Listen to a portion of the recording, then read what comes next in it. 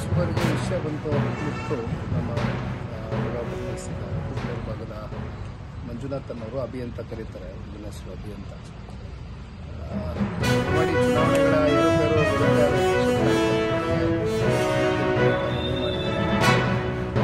ಯಾವ ಕಾರಣಕ್ಕೂ ಕೂಡ ಇಂಥ ಒಂದು ಸನ್ನಿವೇಶಕ್ಕೆ ನಿಮ್ಮ ಕುಟುಂಬವನ್ನು ಎದುರಿಸ್ತಕ್ಕಂಥ ಒಂದು ಸಂದಿಗ್ಧ ಪರಿಸ್ಥಿತಿಯಲ್ಲಿ ಯಾರನ್ನು ಕೂಡ ದೂರಬೇಡಿ ದಯಮಾಡಿ ನಿಮ್ಮ ಈ ಪ್ರೀತಿ ವಿಶ್ವಾಸಕ್ಕೆ ನಾವೆಲ್ಲರೂ ಋಣಿಯಾಗಿರ್ತೇವೆ.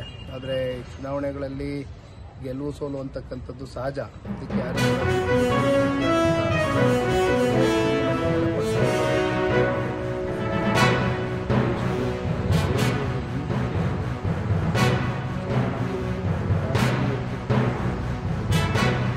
ಸುಮ್ಮನೆ ದೇವೇಗೌಡರು ಸಾಹೇಬರು ಅಧಿಕಾರಕ್ಕೋಸ್ಕರ ರಾಜಕಾರಣ ಮಾಡ್ತಾ ಇಲ್ಲ. ಅವರ ವಯಸ್ಸು ತೊಂಬತ್ತೆರಡು ವರ್ಷ. ಅವರ ಮಾರ್ಗದರ್ಶನ ದೇಶ ಕಟ್ತಕ್ಕಂಥದ್ದಕ್ಕೆ, ನಮ್ಮ ರಾಜ್ಯವನ್ನು ಬೇಕು ಅಂತಕ್ಕಂಥದ್ದು ದೇಶದ ಗೌರವಿತ ಪ್ರಧಾನಮಂತ್ರಿ ಶ್ರೀ ನರೇಂದ್ರ ಅವರು ಅನೇಕ ಸಂದರ್ಭದಲ್ಲಿ ಮಾತನಾಡಿದ್ದಾರೆ. ಹಾಗಾಗಿ ಇಲ್ಲಿ ಯಾವುದೋ ಅಧಿಕಾರದ ದಾಹಕ್ಕೆ, ಅಧಿಕಾರಕ್ಕೆ ಅಡಿಕೊಂಡು ಇವತ್ತು ಸನ್ಮಾನ್ಯ ದೇವೇಗೌಡರು ಸಾಹೇಬರು ರಾಜಕಾರಣವನ್ನು ಮಾಡ್ತಾ ಇಲ್ಲ. ಪ್ರಾಮಾಣಿಕವಾಗಿ ಕಳೆದ ಅರವತ್ತೆರಡು ವರ್ಷದ ದೀರ್ಘಕಾಲದ ರಾಜಕಾರಣದ ಬದುಕಲ್ಲಿ ಸನ್ಮಾನ್ಯ ದೇವೇಗೌಡರು ಏನನ್ನೂ ಕೂಡ ಅಪೇಕ್ಷೆಯನ್ನು ಇಟ್ಕೊಳ್ತೀರ ಕೇವಲ ಮೂರುವರೆ ವರ್ಷ ಅಷ್ಟೇ ಅವರು ಅಧಿಕಾರ.